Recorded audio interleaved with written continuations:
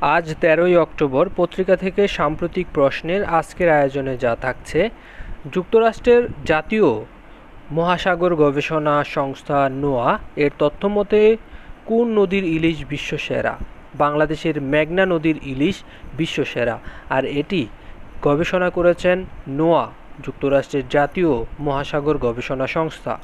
বাংলাদেশে ধরা পড়া ইলিশের আর্থিক মূল্য দুই বিলিয়ন ডলার, বাংলাদেশি টাকায় প্রায় সতেরো হাজার কোটি টাকা।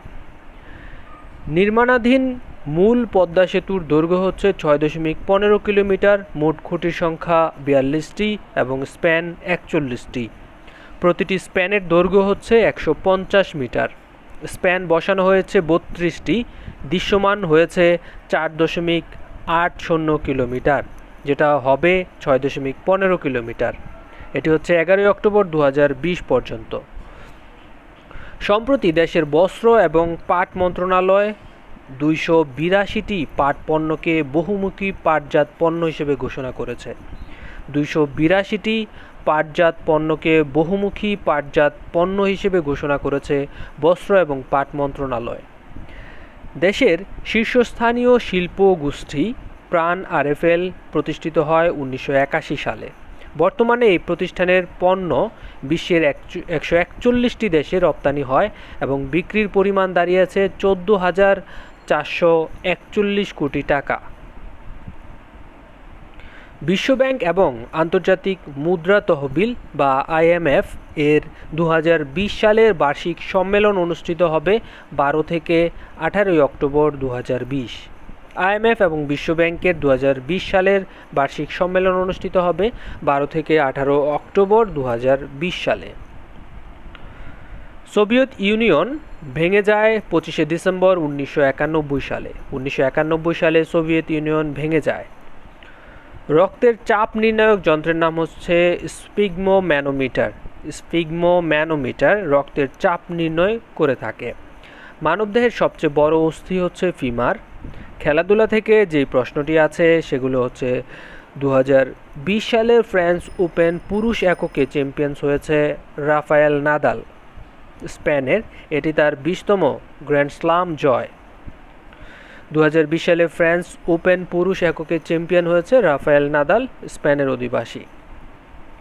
এশিয়ার প্রথম ক্রিকেটার হিসেবে সম্প্রতি কে স্বীকৃতি বা স্বীকৃত টি টোয়েন্টিতে দশ হাজার রানের মাইলফলক ছুঁয়েছেন? তিনি হচ্ছেন শোয়েব আক্তার, পাকিস্তান। নোবেল পুরস্কার নিয়ে আপনারা ভেঙে ভেঙে অনেক প্রশ্নই পড়েছেন। এবার এক পলক আমরা দেখব, তারপরে আরও কিছু সাম্প্রতিকে যাব। শান্তিতে নোবেল পেয়েছেন এবার হচ্ছে ওয়ার্ল্ড ফুড প্রোগ্রাম ডব্লিউএফপি অবদান হচ্ছে ক্ষুধা নিরসনে তারা অনবদ্য অবদান রাখার জন্য। ওয়ার্ল্ড ফুড প্রোগ্রাম প্রতিষ্ঠা হয়েছে উনিশশো একষট্টি সালে। সাহিত্যে এবার নোবেল পুরস্কার পেয়েছেন লুইস গ্লুক। তিনি হচ্ছে যুক্তরাষ্ট্রের অধিবাসী। তার অবদান ছিল সরল এবং সৌন্দর্যময়, ভ্রান্তিহীন কাব্যিক কণ্ঠস্বর। অর্থনীতিতে নোবেল পেয়েছেন পল আর মিলগ্রম, যুক্তরাষ্ট্রের, এবং রবার্ট উইলসন, দুজনই হচ্ছে যুক্তরাষ্ট্রের। আর অবদান হচ্ছে অকশন পদ্ধতি। এই অকশন পদ্ধতির জন্যই অর্থনীতিতে এই দুইজন মার্কিনই অর্থনীতিতে নোবেল পান। চিকিৎসায় এবার নোবেল পেয়েছেন হারভেজে অল্টার মাইকেল হাউটন এবং চার্লস এম রাইস। অবদান ছিল হ্যাপাটাইটিস সি ভাইরাস আবিষ্কার করা। পদার্থে এবার নোবেল পেয়েছেন Robert Penrose, Rein, Reinhard Genzel এবং আদ্রে গেজ অবদান ছিল ব্ল্যাক হোল এবং আপেক্ষিকতা। ব্ল্যাক হোল এবং আপেক্ষিকতার জন্য এবার পদার্থে নোবেল পুরস্কার দেওয়া হয়। রসায়নে যিনি হচ্ছে যে দুইজন নোবেল পেয়েছেন তাদের নাম হচ্ছে ইমানুয়েল শার্পেনিয়ার জার্মানির এবং জেনিফার এ দোদনা।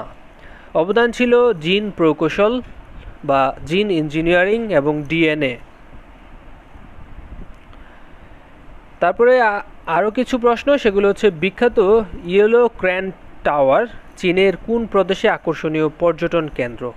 চীনের উহান শহরে এটি অবস্থিত এবং এই ইয়েলো ক্র্যান টাওয়ার হচ্ছে চীনের আকর্ষণীয় একটি পর্যটক কেন্দ্র। রাডরাম, রাম রাম যেহেতু আছে, আপনারা মনে রাখতে সুবিধা হবে যে রাম এক বা রুডরাম হচ্ছে পরমাণু বিকিরণ রোধী ক্ষেপণাস্ত্র যেটি ভারতের তৈরি রুদ্রাম ওয়ান এবং এটি হচ্ছে পরমাণু বিকিরণ রোধী ক্ষেপণাস্ত্র হিসেবে বেশি সমধিক পরিচিত। করোনায় চিকিৎসায় দ্রুত গতিতে টিকা এবং ঔষধ তৈরিতে অপারেশন র্যাপিড স্পিড নামের কর্মসূচি নিয়েছে যুক্তরাষ্ট্র। অপারেশন র্যাপিড স্পিড হচ্ছে করোনা চিকিৎসায় দ্রুত গতিতে টিকা এবং ঔষধ তৈরি। এটি যুক্তরাষ্ট্র এই কর্মসূচিটি হাতে নিয়েছে। শতবর্ষী দবিরুল চৌধুরীকে মহামারীর জন্য অর্থ সংগ্রহের স্বীকৃতিতে যেটি পেলেন তিনি হচ্ছে ব্রিটেনের রানীর কাছ থেকে Order of the British Empire OBE পদক পেয়েছেন। শতবর্ষী দবিরুল চৌধুরী তিনি এই করোনা প্যান্ডেমিকের সময় অর্থ সংগ্রহ করেছিলেন, এজন্য তিনি ব্রিটিশ নাগরিক এবং ব্রিটিশ রানীর কাছ থেকে Order of the British Empire পদক পেয়েছেন। বিশ্বে প্রবাসী আয়ে বাংলাদেশের অবস্থান অষ্টম, প্যারাগুয়ের বৈদেশিক বাণিজ্যের পঁচাশি শতাংশই যে নদীর উপর নির্ভরশীল সেটা হচ্ছে প্যারাগুয়ে নদী। বিশ্ব ব্যাংক বা ওয়ার্ল্ড ব্যাংকের পূর্বাভাস অনুযায়ী করোনার জন্য সামগ্রিকভাবে বিশ্ব অর্থনীতির প্রায় পাঁচ দশমিক দুই শতাংশ কমে যাবে বা সংকুচিত হবে। যুক্তরাষ্ট্র যদি চীনের সঙ্গে অর্থনৈতিক বিরোধ অব্যাহত রাখে, তবে চীনের প্রবৃদ্ধি দু হাজার চল্লিশ সাল পর্যন্ত প্রতি বছর প্রায় জিরো পয়েন্ট ফাইভ পারসেন্ট বা হাফ শতাংশ কমবে। যদি এরকম অর্থনৈতিক বৈষম্য বা অর্থনৈতিক বিরোধ এম্বার্গো যদি তারা কন্টিনিউ করে, তাহলে দু হাজার চল্লিশ সাল পর্যন্ত প্রতি বছর জিরো পয়েন্ট ফাইভ পারসেন্ট তাদের অর্থনৈতিক প্রবৃদ্ধি কমে যাবে। বিবিএস এর তথ্য মতে ট্যুর অপারেটর প্রতিষ্ঠানগুলো জিডিপিতে প্রতি বছর গড়ে প্রায় দুইশো বিশ কোটি টাকা অবদান রাখে। চল্লিশতম বিশ্বখ্যাত হাওয়াই আন্তর্জাতিক চলচ্চিত্র উৎসবে জয়া আহসান অভিনীত যেই সিনেমাটি চূড়ান্ত মনোনয়ন পেয়েছে, সেটি হচ্ছে বিনি সোতোয়। চল্লিশতম বিশ্বখ্যাত হাওয়াই আন্তর্জাতিক চলচ্চিত্র উৎসবে এই জয়া হাসানের অভিনীত এই সিনেমাটি চূড়ান্ত মনোনয়ন পেয়েছে বিনি সোতোয়। দেশীয় শিল্পের সম্ভাবনা এবং আন্তর্জাতিক বাজারের চাহিদা বিবেচনায় কতটি পণ্য যুক্ত করে পাটজাত পণ্যের নতুন তালিকা প্রকাশ করেছে সরকার? দেখেন যে একটু আগে কিন্তু এই প্রশ্নটি আমরা পড়েছি, কিন্তু সংখ্যাটি কিন্তু মনে ছিল না। এই জন্যই একটা রিভিশনের ব্যবহার হয়ে গেল। দুশো বিরাশিটি পণ্য। টাকা পাচার হচ্ছে টাকা পাচার রোধ, যেটাকে এএমএল বলা হয় anti money laundering anti money laundering বা টাকা পাচার রোধের পাশাপাশি হচ্ছে স্বচ্ছ এবং ঝুঁকিপূর্ণ লেনদেন নিশ্চিত করতে যে সফটওয়্যার চালু করেছে বিকাশ, সেটি হচ্ছে এল থ্রি সিক্সটি মানে তিনশো ষাট দিনই হচ্ছে এন্টি মানি লন্ডারিং এরকম একটি সফটওয়্যার চালু করেছে, ঝুঁকিমুক্ত লেনদেন এবং স্বচ্ছ লেনদেনের জন্য।